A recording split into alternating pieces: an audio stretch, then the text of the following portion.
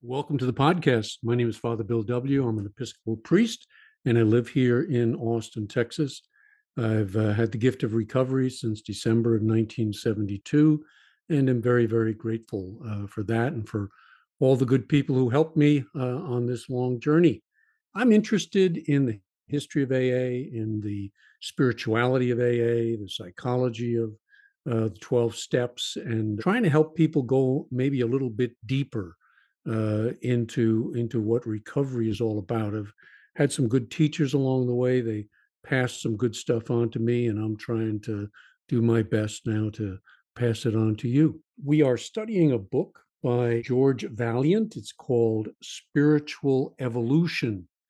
And this is the sixth episode of kind of, kind of taking a deep dive into, into this book because uh, I think it's important. And Vaillant, he was a research psychiatrist at Harvard, and he also served uh, as a non alcoholic trustee uh, for Alcoholics Anonymous. And I, I put a link to his book in the show notes. And I'd really encourage you to get a used copy of the book. Uh, they are available. But my usual word of warning is uh, you might want to skip the first three chapters or or go over them lightly. Don't don't get bogged down. George is a scientist, and so he's he's going to give you some brain geography. I'd like to say, you know, what's going what's going on, uh, you know, in the deepest recesses of our minds.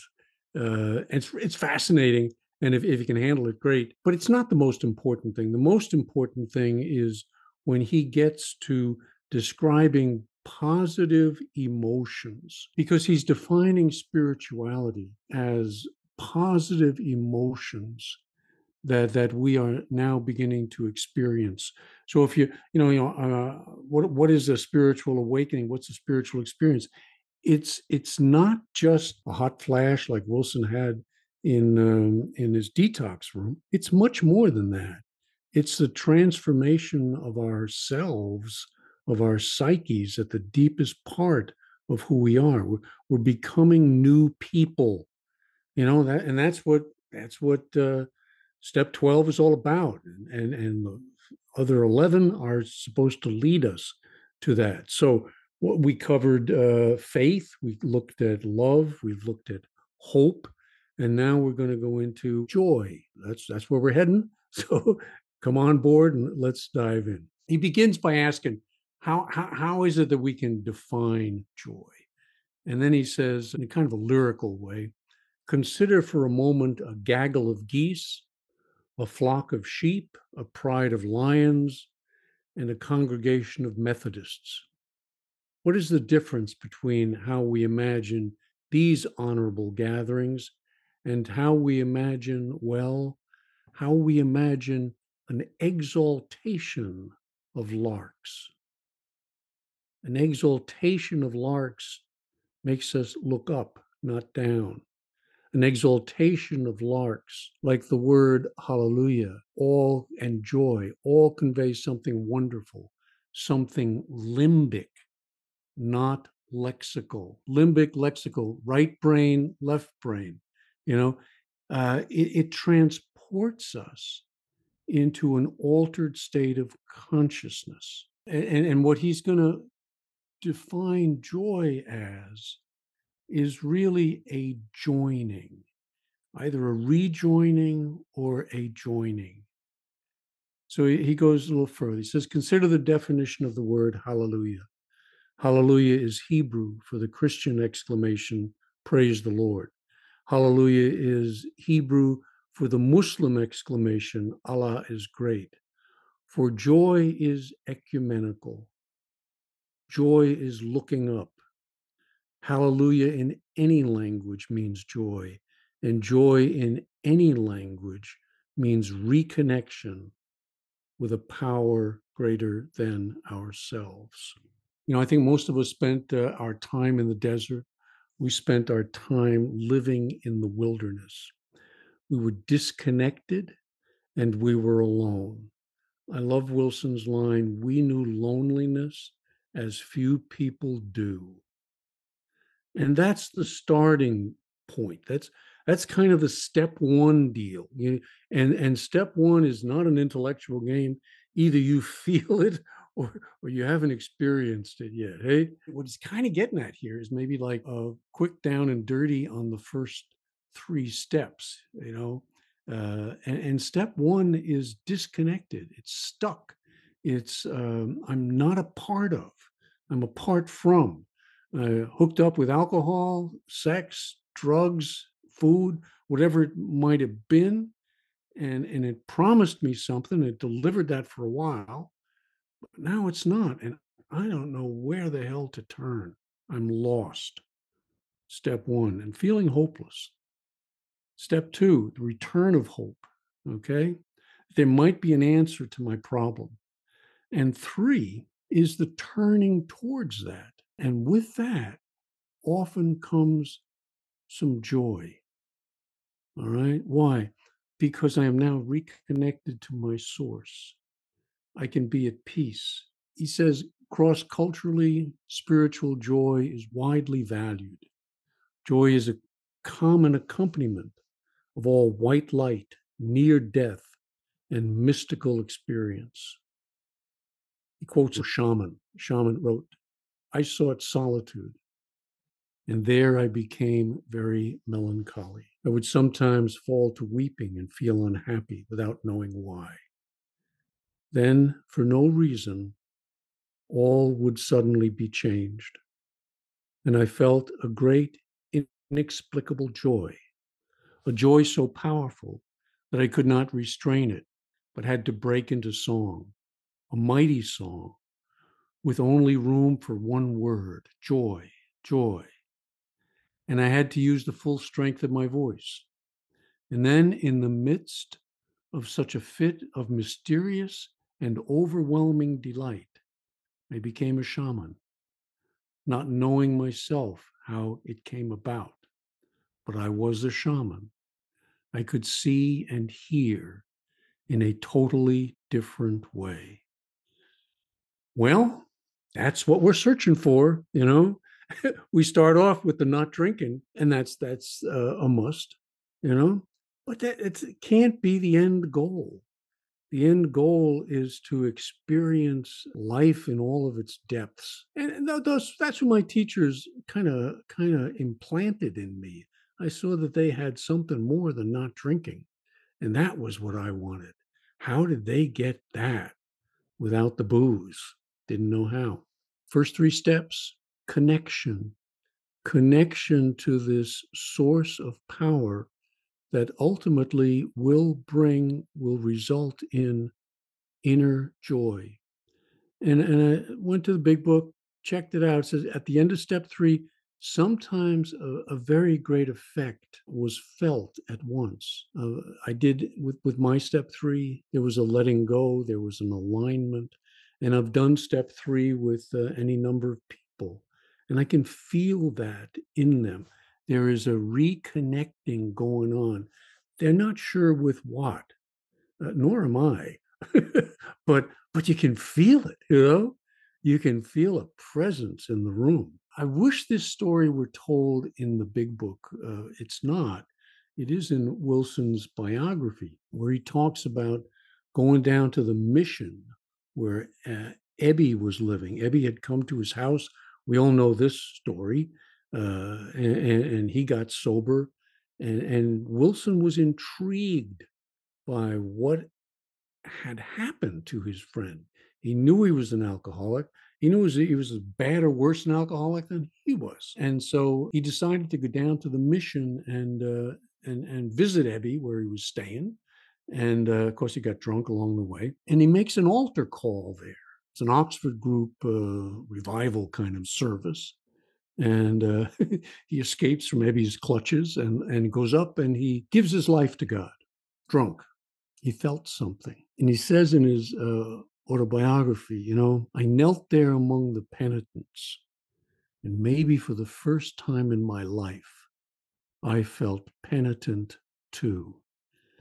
Some joy, some hope these were the things that were starting to come into his life, and he could feel them. Wilson had known great darkness. And when you're really in the dark, it doesn't take a hell of a lot of light to shine in and you see it. He had his white light experience, but this was really where the light started breaking through a crack in his ego system. Uh, that's the way I like to look at it.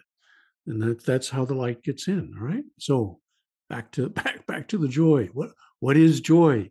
Uh, and he keeps asking this in his chapter. What is it? What is it? What is it not?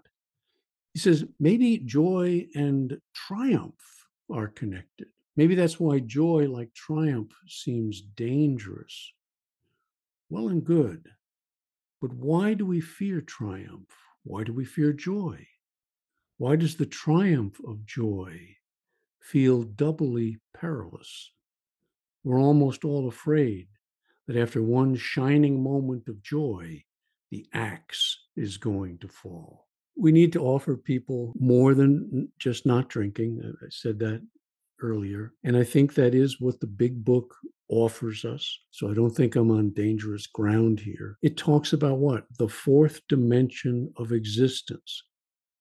You know, we had an experience of the fourth dimension of existence. Don't be too afraid of that. It's uh, it's real, and Vaillant believes it's real and it has the power to change us. It isn't a straight shot getting there. We experience it, we get into it, and then we leave it. But knowing that it's there, it's what we want to get back to. And we have an opportunity to do that. It's the spiritual growth and change that, that has to happen to us. He talks here now about Icarus and, and he relates it to joy. And he says, if, if you know the story, Icarus is a young kid and he's with his father, Daedalus, and somehow they're stuck on some Greek island. And how are they going to get off?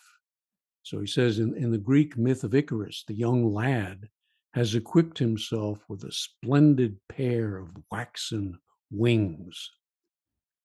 When he rises up, as larks do, flying triumphantly, flying joyfully toward the sun, this is when his cautious father Daedalus warns him that the sun will melt his wings. Be careful, kid. Don't get too close to the sun. Of course, the kid does it. Off he goes and he falls into the water. Some, some of the myths, it falls to his death. He makes a comment here, Vaillant does. He says, How puritanical how sad. What a waste of joy. After all, the sun is 93 million miles away, and air actually grows cooler as we ascend. Flying high does not melt wax wings, it makes them stronger. It is our forbidden, triumphant joy at soaring, not any realistic danger of falling, that seems so perilous that humans perversely forbid joy to each other. If we feel too much joy, we fear that we may burst. We're very cautious about this joy. We deprive ourselves of a lot of it. Kind of brought to mind the kid was experiencing something wonderful, something freeing, something joyous. Be careful of that. you know, there's the old people, the old people tell you, watch out for that stuff; it'll kill you. You know, and there's, there's truth to that. It's dangerous, right? But you got to give them something. You got to offer them something transformational, something that is going to bring joy and purpose and meaning and love and all of these positive emotions into their life. Not just holy, geez, I'm not drinking. Got to be more than that when I was reading this, I thought of the letter, the correspondence between Wilson and Jung, because that kind of got this thing started. And and Jung was a believer in the transforming value of a, a, psychic change, a spiritual experience. And, and he wrote back to uh, Wilson about the patient that uh, Wilson knew, uh, Rowland Hazard. And he said he had sent him in search of a spiritual experience. Why? Jung wrote back, because his craving for alcohol was the equivalent on a low level of the spiritual thirst of our being for wholeness, expressed in medieval language, the union with God. But how could one formulate such an insight, Jung writes? in a language that is not misunderstood in our days. The only right and legitimate way to such an experience is that it happens to you in reality. And it can only happen when you walk on a path which leads you to a higher understanding. Rowland was thirsty for something. Most of us addicts are. All right. What is it we're searching for? That's a part of what he's talking about in this book. And one element of that is joy. And, and, and so he asks, why do I turn to Passover, to spring, to Easter hymns, to try to express the passion of joy? He says, why won't words and science do? Neuroscience dissect the brain with care. They can sort of locate centers for grief, for pleasure, for anger, and fear. But neuroscientists have not located joy, for joy is more complex than a mere pleasure center. Joy, like love, is the comfort of attachment and of real relationships.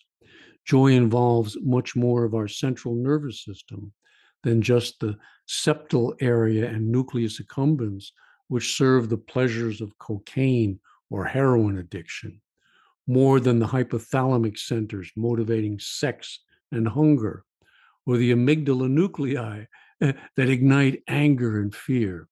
So I need music and song, the product of our integrated brain, to fully articulate joy. So he's saying, can't put joy into words. Words will not get you there, but experiences understood, maybe not fully, uh, but appreciated, all right? They let you know that you've been there, that I've had joy, all right? Goes on to say it's a lot easier to talk about happiness than it is about joy. Joy, he says, is all about connection with others, joining with others, Happiness is all about drive reduction for the self. It says happiness is largely cognitive, left brain. That's why social scientists and economists love happiness. Why? Because it can be defined and it can be measured. In contrast, joy is a primary emotion. Joy is perceived subjectively uh, by the individual in our viscera, meaning in our guts. Joy is spiritual, he says. Happiness is secular. It's more like excitement. He writes there's all the difference in the world between the apostles returning to Jerusalem with great joy after they experienced a meal in the presence of their lost friend, Jesus, the road to Emmaus story. He says there's a huge difference between that kind of joy and, and a film of Fred Astaire tap dancing up Fifth Avenue and wishing Judy Garland a happy Easter, right? For joy is not happiness, he says. Joy is connection. We feel happiness at make believe movies, he writes. We feel real joy at reunion in real life. We feel excitement in the neon lights of Las Vegas. We feel joy at a sunrise. Why? Because the sunrise is real. Joy is how parents feel on the day their child is born. Joy lingers. Happiness and excitement quickly pass. Then he goes a little deeper. He says, What is the evolutionary purpose behind joy. Why do we have it? Again, he approaches this as a, as a scientist and as a believer in 12 step recovery. And, and, and he believes that there's an evolutionary process going on. It goes on um, physically. Uh, through the ev- evolution, we have evolved as a species. It goes on culturally, and we talked about that in one of the previous episodes. And it goes on individually that we evolve too as, as people, people in recovery. I mean, I am not where I was at 51 years ago. And, if, if, and I hope you're not there either. Merton said something wonderful. He said, "You know, if my if my understanding of God is the same as it was five years ago, something's wrong with me. We are evolving. We're evolving, growing, changing, letting go of um, stuff that doesn't work anymore, and and evolving into hopefully better and changed people. We have a capacity for that. What, what is this human capacity for joy? How did it come about?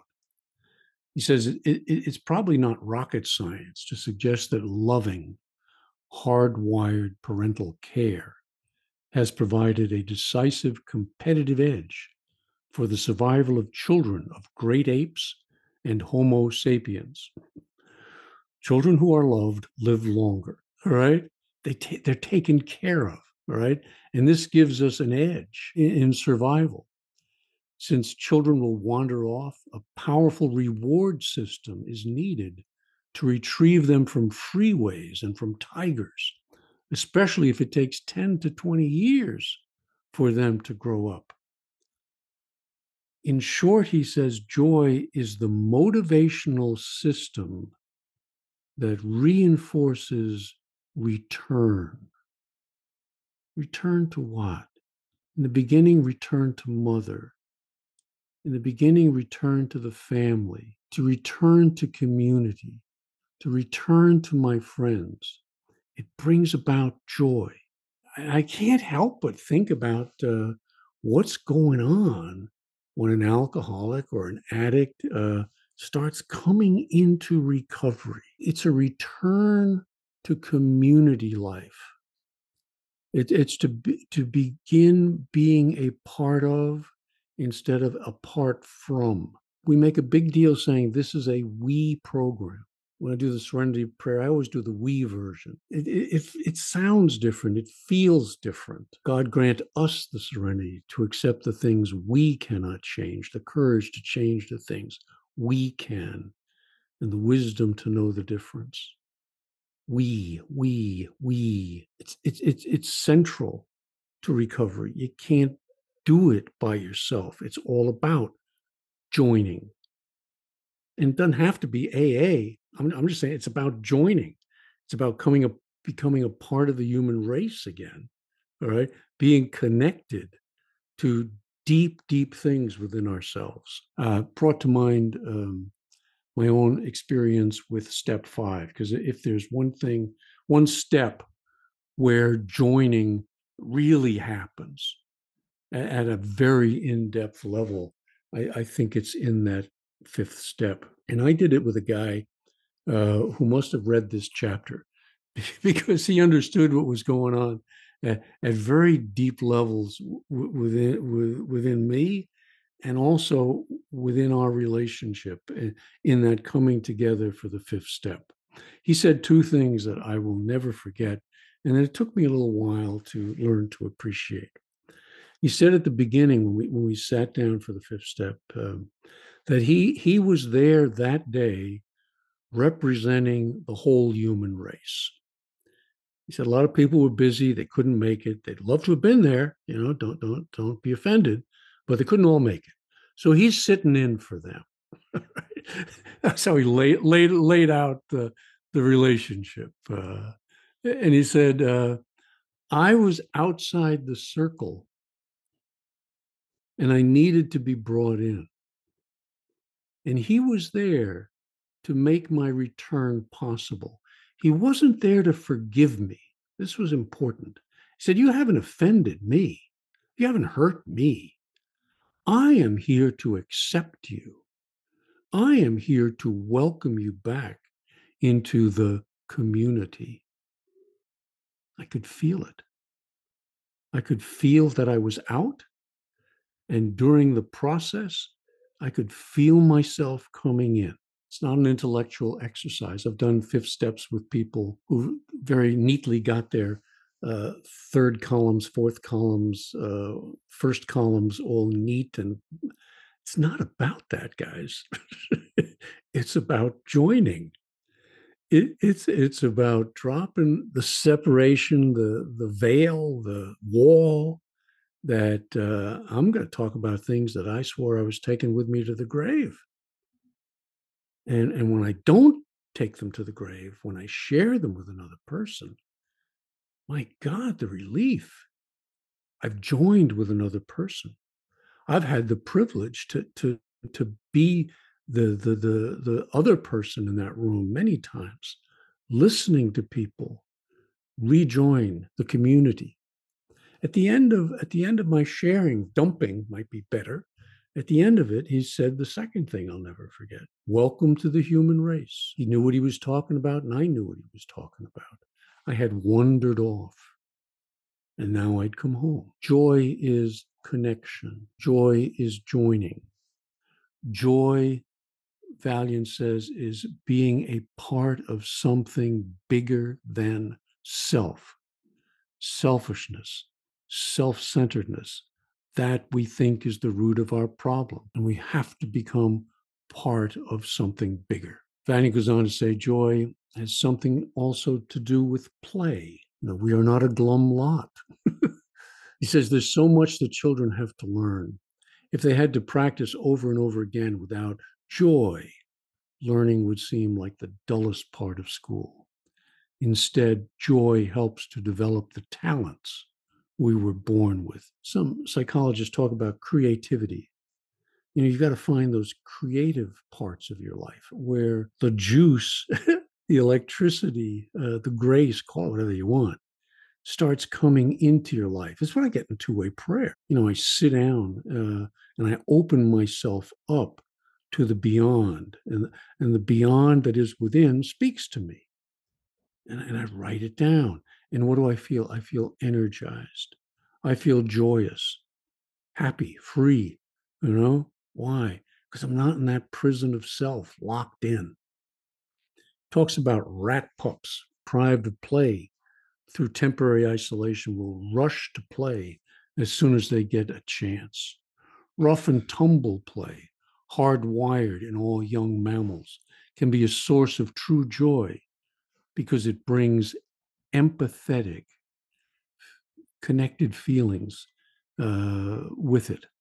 Adults no longer roughhouse, but as we grow older, rough and tumble play is replaced by sport, by singing, and especially by dancing.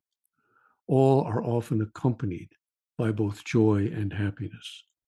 Rhythmic exercise becomes dancing only by the addition of two crucial ingredients joy in another person. It takes two to tango. Two more areas connected to joy. He says a joy is not only different from happiness, but it's also different from pleasure. Freud was very big on pleasure. He says that that's what underlies everything. And, and Vaillant goes deeper than that, as does Jung. He says, no, it's not meaning and purpose are more important than pleasure. Finding those in your life, finding the source of joy is more important than pleasure. He says, consider the facial dance of joy that goes on between a smiling infant and the infant's mother returning the smile. First, social smile, then peekaboo. You play that game with the kids, you know? cover your face with a cloth. What does the kid feel? Separation. Where'd mother go? Or daddy go? Drop the veil, drop the cloth. What's the response? Joy. The kid feels joy. It's wonderful. It's reunion.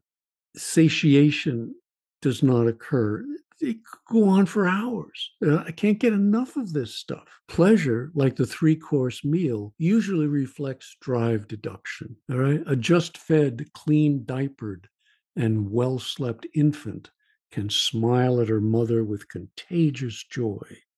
And that smile can make the mother smile and feel joy in return. The human smiling response is hardwired connection, reunion, community, joy. Back with the scientist hat, he says, Joy is how selfish genes unselfishly share. It's a win win all the way around. Then he looks at how joy is different from mastery. Mastery, he says, is a profoundly satisfying experience, but mastery occurs only from our own efforts. Mastery is taking our first steps or riding our first 10 feet on a bicycle, getting your computer to download, or in my case, for the Zoom thing to work right, you know, doing that for the first time. Our pulse speeds up. We're excited. We're empowered. Mastery, like contentment, always grows out of cognitive experience. Mastery lets me know I can, which is not a bad thing. But mastery is all about me. Again, a we program. And joy is very different from self satisfaction. Vaillant uh, talks about the connection of, of, joy to pain. Joy is grief turned inside out. He's spot on. He writes, Consider funerals. There's no happiness at a funeral. Death takes all happiness away. But at funerals, there are wakes. And at wakes, there is humor, there's remembrance, and there is joy. Why? The joy it wakes comes both from the reunion with living relatives one has not seen for years, and from remembering and celebrating the life of the departed. We join with them.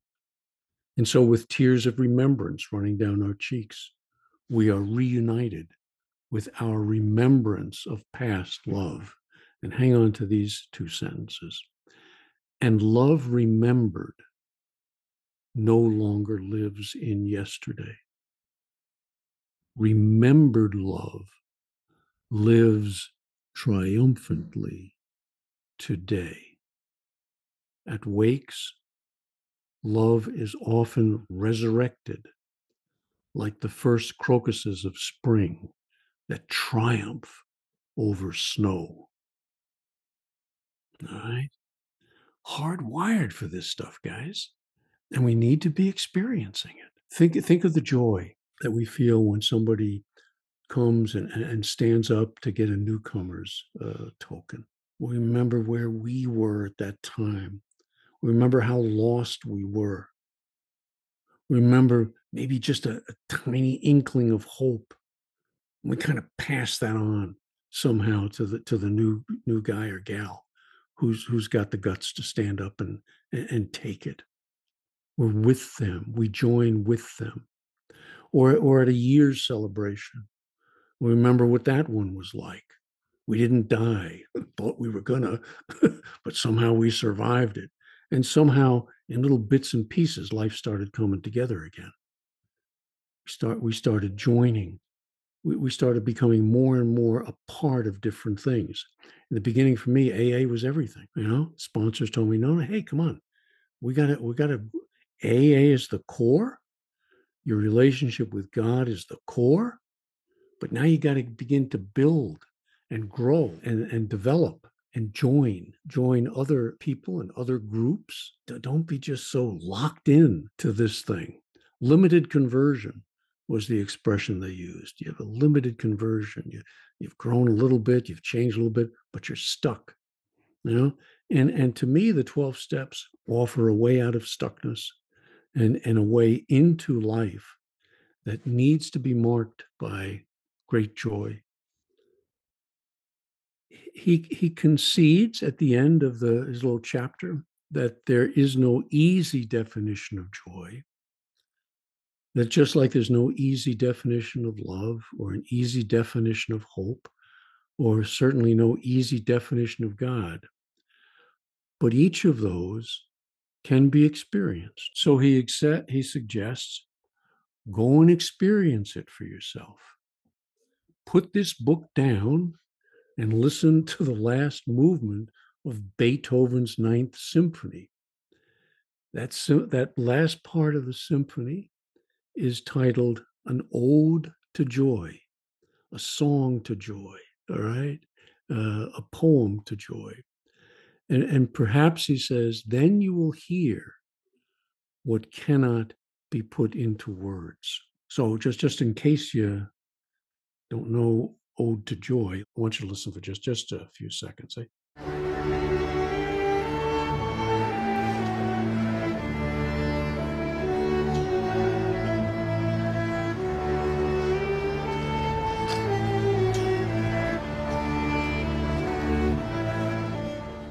I took that from a YouTube piece. Uh, I, I, put it in the show notes. I, I, don't usually give homework assignments on these podcasts, but I'm giving you one this time. All right, because when when I when I put the book down as George suggested, I went on to. In my case, I, I went to YouTube, and I and I, found uh, uh, several things on the Ode to Joy, and I found one that really uh, transported me. All right. It's what they call a flash mob. This one was done in, in Spain. And it's where they're in a plaza and, and one musician appears and, and, and and he, he's got a cello and he's starting to play a little bit of the Ode to Joy. And then from out of the shadows, uh, out of some alleyways, come one or two more musicians. And then from down the street come four or five more. And they all join in. And as they join in, watch the crowd begin to gather around them. Watch the eyes of the children as they experience joy through the music, through the setting. Watch the fathers holding their children. And it's like they're trying to pass on the joy that they knew onto these kids who are just experiencing it for the first time. Old folks remembering, remembering that spring does come after winter, that there's been a lot of hard times in life, but if you hang in there, joy arrives in the morning. All right. Um, and then the whole uh, group breaks out into song. I don't think you can. I've watched that several times. I'm an addict. I, don't do anything just once. I get tears in my eyes. Why? Because there's a part of my brain that's remembering times of joy, times of joining, times when I, I felt alone and uh, not a part of. And, and I'm not just talking, you know, back when I was drinking. I'm talking, this happens to us a lot this is ongoing. You know, we're afraid of this joy. You know, so like so we we we we deprive ourselves from it. But sometimes when it's just hitting you over the head, you can't deprive yourself. You get caught up in it.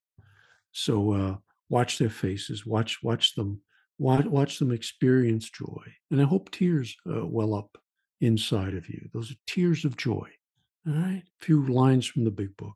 If newcomers could see no joy or fun in our existence, they wouldn't want it. Some from the 12 and 12.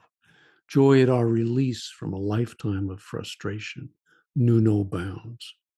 Practically every AA member declares that no satisfaction has been deeper and no joy greater than in a 12th step job well done. The joy of living is the theme of the 12th step. So I want you to go watch that video. Only takes five or six minutes. Feel it, experience it, and uh, and above all, enjoy it. Okay. I hope you enjoyed this. Uh, and if you did, come back. And if you didn't, all the more reason to come back. So thanks for listening. God bless. Take care.